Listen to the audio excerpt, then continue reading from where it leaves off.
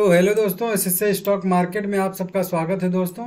अब देखिए, आप लोग ध्यान से समझ लीजिएगा कल कहाँ पे एक्सपायरी हो सकता है।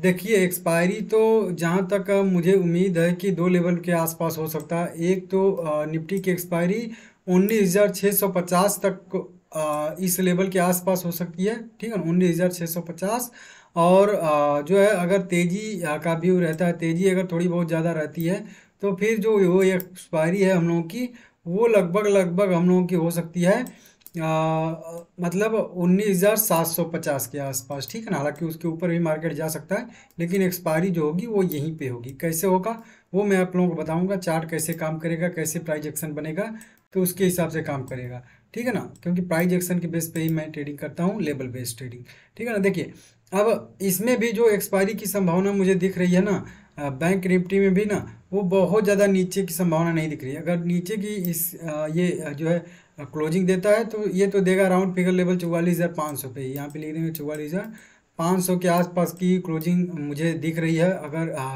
साइड वेज मार्केट या गिरावट वाला मार्केट रहता है तो नहीं तो अगर तेज़ी वाला मार्केट रहता है इसमें भी तो इसमें भी देखिए, इसमें भी तो ये जा तो सकता है। यहाँ तक पैंतालीस हज़ार एक सौ तैंतीस के लेवल को टच करने के लिए, वहाँ तक जा सकता है। लेकिन एक्सपायरी जो स्कीम मुझे दिख रही है, वो भी दिख रही है सेम टू सेम चौवालीस हज़ार आठ सौ से लेके चौवालीस हज़ार नौ सौ के अराउंड मतलब ये वाले जोन में मुझे एक्सपायरी इसकी भी दिख रही है। यहाँ पे भी एक जो है जोन था, ऐसे वाला, जो यहाँ पे मैं ड्रो नहीं किया हूँ। ठीक है, कोई बात नहीं। तो देखिए, अब लेबल आप लोग ड्रॉ कर लीजिए, ठीक है ना? निफ्टी का सबसे पहले लेबल ड्रॉ करिए और कंडीशन समझिए कब हम लोग को क्या एक्शन लेना है।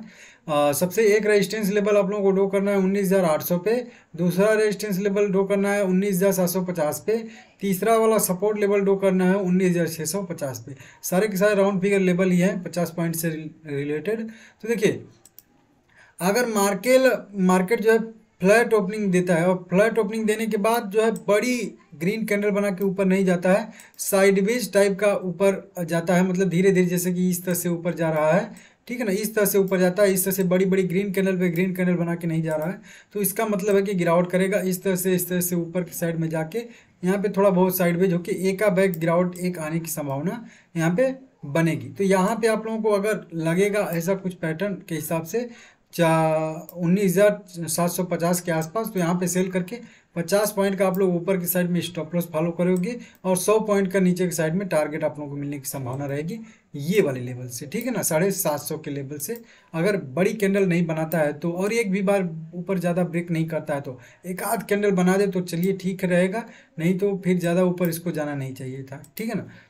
अब देखिए नीचे की साइड का अगर हम लोग देखेंगे तो ये नीचे का भी हो गया। अब नीचे मान लेते हैं कि गैप डाउन ओपनिंग देता है तो गैप डाउन ओपनिंग देने के बाद तो आप लोग अगर आ, ये वाले लेवल में ज़्यादा अंतर है। मतलब साढ़े छः सौ के अगर ऊपर ऊपर ज़्यादा ऊपर कुछ है तो आप लोग क्लोजिंग प्राइस का स्टॉप लॉस लगा के जो है इसी टारगेट के लिए आप लोग ट्रेड छोटा सा कर सकते हो तब छोटा सा ट्रेड बनेगा। या फिर आप लोग को वेट करना पड़ेगा प्रॉपरली ये जब सपोर्ट पे आ जाए एक दो बार रिटेस कर ले सपोर्ट ले ले तब आप लोगों को यहाँ से एक जो है अच्छा खासा ट्रेड फिर से उसी रेजिस्टेंस का मिलेगा, सब उन्नीस हज़ार सात सौ पचास का और नीचे का यहाँ पे आप लोग स्टॉप लॉस फॉलो करोगे लगभग लगभग वहीं चालीस से पचास पॉइंट का, ठीक है ना? मतलब ये वाला जो लो बना है, इसके लो के नीचे का आप लोग स्टॉप लॉस फॉलो करोगे। इस पे साढ़े छः सौ पे अगर आप लोग बाइंग की साइड का ट्रेड लेते हो, तेज़ी का तो ठीक है ना?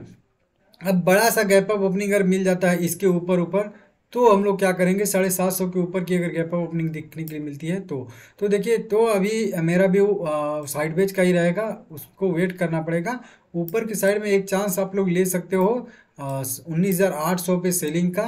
ठीक है ना लेकिन वो थोड़ा सा रिक्सी रहेगा क्योंकि 600 के आ, वो 750 के नीचे नीचे रहेगा तो गिरावट का व्यू रहेगा। 700 के ऊपर ऊपर अगर चला जाता है 750 के तो फिर तेज़ी का व्यू रखना पड़ेगा और एक अच्छा सा ब्रेकआउट मिलता है अगर तो प्राइस जो है बहुत फास्ट मोमेंटम करेगा इस तरह से। और वो जो है उन्नीस उसके भी ऊपर कहीं तक भी जा सकता है उसका कोई लेवल नहीं है।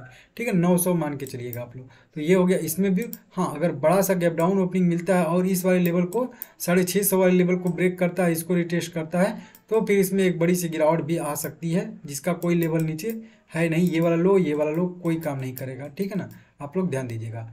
अगला अगर देखेंगे हम लोग बैंक निफ्टी का तो बैंक निफ्टी में भी सेम वही कंडीशन बन, बनेगा। अगर छोटा मोटा गैप अप देख के एक छोटा मोटा रिट्रेसमेंट ऊपर की साइड में पुल बैक दिखाता है तो आप लोग यहाँ पे टेल ले सकते हो मतलब चौवालीस हज़ार आठ सौ के अराउंड सौ पॉइंट के ऊपर की साइड में आप लोगों का टारगेट रहेगा और नीचे की साइड में आप लोगों को जो टारगेट मिलेगा, स्टॉप लॉस रहेगा सौ पॉइंट का और टारगेट जो रहेगा आप लोगों का तीन सौ पॉइंट के आसपास का टारगेट रहेगा मतलब आठ सौ से सीधा पाँच सौ पे आप लोग टारगेट बुकिंग कर सकते हो। ठीक है ना, वन टू टू का भी रख लीजिएगा लेकिन तीन सौ पॉइंट मिल जाएगा यहाँ से, जो मैं प्राइज एक्शन बनाया हूँ। उसके बाद अगर मान लेते हैं कि गैप डाउन ओपनिंग देता है या फ्लैट ओपनिंग देता है तो फ्लैट ओपनिंग पे कुछ नहीं करना है फ्लैट ओपनिंग के बाद अगर एक गिरावट आती है, पैनिक गिरावट एक नीचे के साइड में तो फिर हम लोग इसी जोन में बाय करेंगे। चौवालीस हज़ार पाँच सौ के जोन में तेज़ी के सौदे बनाएँगे और पहला टारगेट वहीं वाला रेजिस्टेंस रहेगा, चौवालीस आठ सौ। और अगर उसके ऊपर जाके सस्टेन करता है तो फिर पैंतालीस हज़ार एक सौ तैंतीस के लेवल तक भी टच करने के लिए जा सकता है ये वाला लेवल ठीक है ना? तो इसको आप लोग ध्यान दीजिएगा। स्टॉप लॉस हंड्रेड पॉइंट का दोनों साइड में आप लोगों को फॉलो करना है, ठीक है ना? तो यहाँ पे भी ट्रेड लेना है, यहाँ पे। दोनों साइड का मुझे अगर ट्रेड देखेंगे तो तेज़ी का ही व्यू ज़्यादा से ज़्यादा दिख रहा है। थोड़ा सा निफ्टी जो है वीक रहेगा, बैंक निफ्टी थोड़ा सा कल स्ट्रॉन्ग रहेगा, ये आप लोगों को मैं पहले से बता देता हूँ। तो देख लीजिएगा, अगर वीडियो आप लोगों को बहुत अच्छी लगी है तो प्लीज़ करके आप लोग सब्सक्राइब करिए चैनल को, लाइक करिए वीडियो को, ठीक है?